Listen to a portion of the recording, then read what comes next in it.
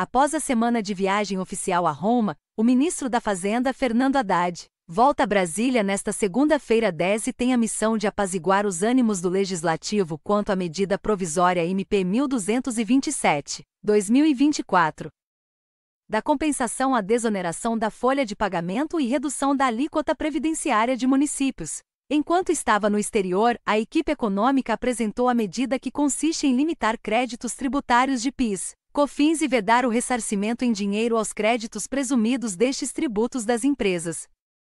Isso daria margem de 29,2 bilhões de reais aos cofres públicos, segundo proposta entregue ao Congresso Nacional na última terça-feira 4. O texto, porém, enfrenta forte resistência de parlamentares e diversos segmentos da economia. No Congresso, há deputados e senadores dando como certa a devolução da MP ao Executivo Federal. Na sexta-feira 7, Haddad disse que o texto foi mal interpretado e que a resistência à medida foi fruto do calor de momento.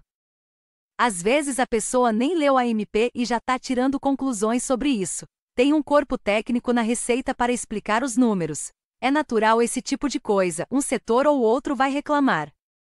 Ninguém que tem um privilégio quer abrir mão dele. É natural, mas temos que levar em conta o país, disse a jornalistas em São Paulo. Mesmo assim, Haddad disse que está confiante que vai conseguir negociar com o Congresso. Ele lembrou que nenhuma medida apresentada por eles voltou e que é preciso ter calma, conversar e construir junto uma proposta com o Congresso. Nesta semana, Haddad deve se reunir com representantes de diversos setores e líderes do parlamento. O ministro vai correr contra o tempo para convencer mais uma vez os deputados e senadores sobre uma proposta do governo sem que eles mandem de volta a MP. Nesta segunda, Haddad também tem um encontro marcado com a presidente da Petrobras, Magda Chambriardi. É a primeira reunião do ministro da Fazenda com a chefe da estatal após a posse dela no mês passado. O secretário executivo da pasta, Dário Durigan, também participa.